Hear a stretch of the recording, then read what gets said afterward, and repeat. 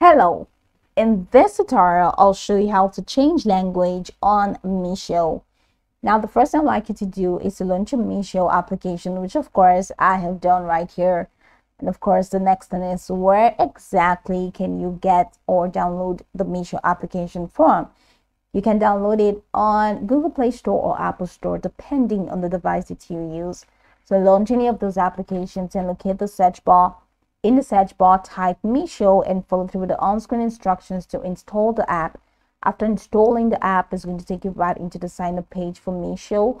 We're going to be asked to either log in using an existing account or to create an entirely new account. Now, whichever one you choose, once you sign in successfully, it's going to take you right into this fantastic homepage where you can now explore a lot of features to have an exciting time on Meesho.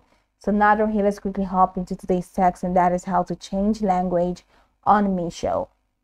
From this homepage, I'd like you to head over to the bottom corner of your screen where you have a couple of icons representing Davis features and they include home, categories, my others, help, accounts. Go ahead and click on account.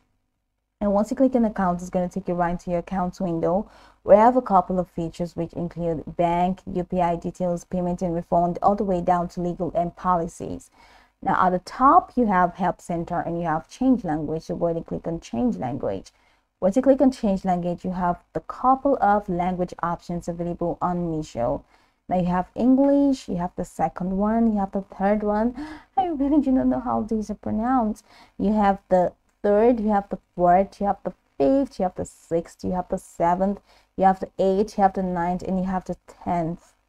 Now, once I change to any of these languages, I promise you I may not be able to find my way back to change this language to English.